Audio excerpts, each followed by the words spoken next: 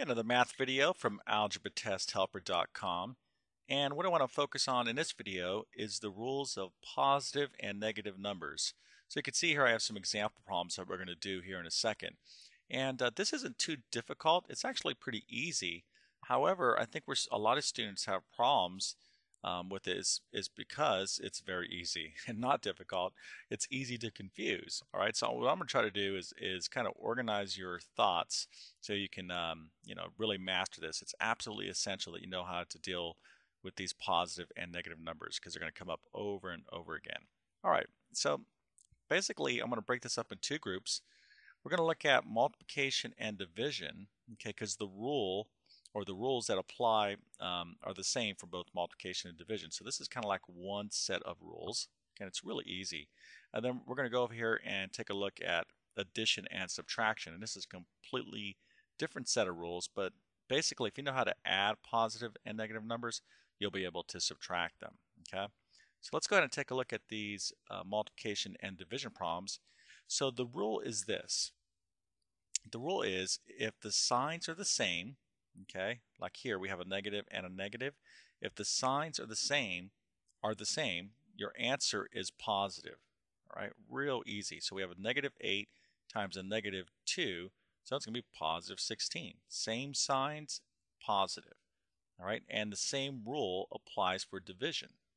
So let's take a look at this one. We have negative 40 divided by a negative 10 so of course our answer is going to be a positive 4 Okay, so once again, same signs, a negative and a negative, your answer is positive. And of course, a positive times a positive, your answer is going to be positive. Real easy.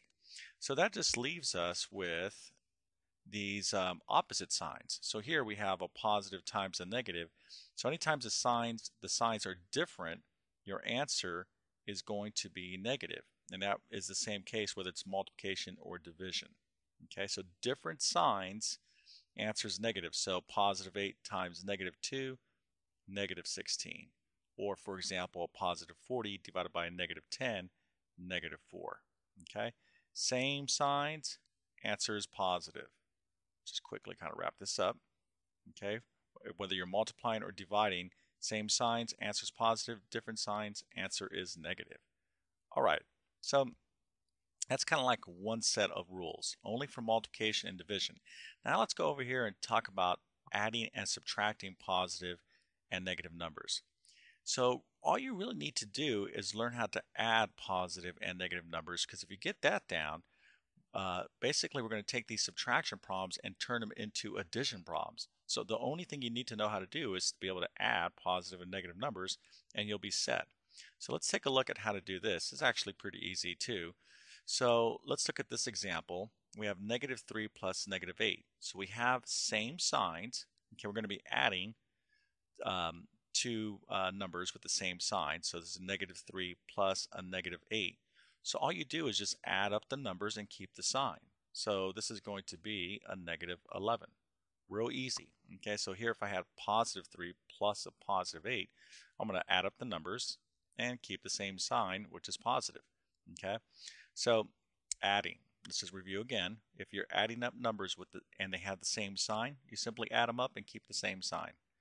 Now this brings us to our final situation, okay, where, where we're talking about um, adding, and that is what happens if the signs are different. Now if the signs are different, like we have here, we have a negative 8 plus a positive 3, well what we have to do, instead of adding the numbers, we have to subtract them, okay? So in this case, we're going to be subtracting 8 and 3. So that's going to be 5. And now what we have to do is determine what sign our answer is going to be. Is it going to be a positive 5 or a negative 5? And the way you determine that is to is to look at the biggest number. So the largest number in the problem was 8. Okay, so 8 is larger than 3, but this is a negative 8, so our answer is going to be a negative 5. Okay, now a math teacher or myself, I could teach you this in a much more formal type of way, but I'm trying to give you practical language or uh, practical meaning behind these rules. So let's go and do another problem. Let's say we had, oh, I don't know, 10 plus negative 17. Okay, so let me go ahead and ask you, are the signs the same? No, okay, uh, one's positive, one's negative, so we're going to end up subtracting these numbers, which are what we call the absolute value. So in other words, I'm going to kind of disregard this sign. So the difference between 10 and 17 would be 7. Okay. Now, is it going to be a positive 7 or a negative 7? Well, 17 is the larger number here, and it's negative, so this is going to be a negative 7.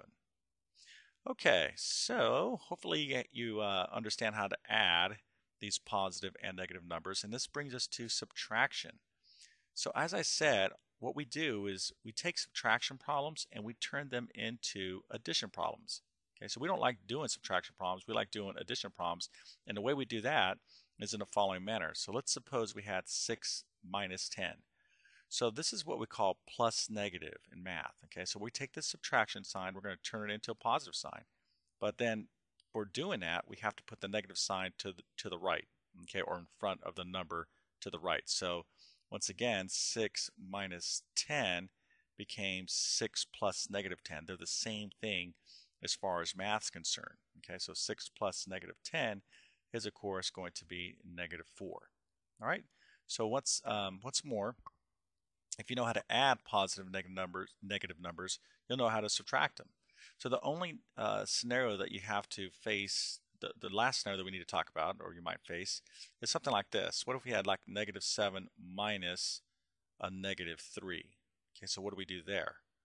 All right, so once again, we're not going to do subtraction problems. We're going to do addition problems. We're going to do plus negative, but now we have a negative of a negative. We just got, we have to just go ahead and just define what that is. So a negative of a negative is always positive, or the opposite of a negative is always positive.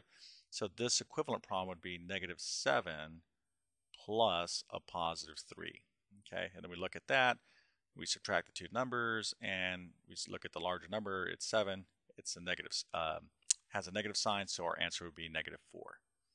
All right, so this is just a real quick rehash of the rules of positive and negative numbers. You absolutely have to master them.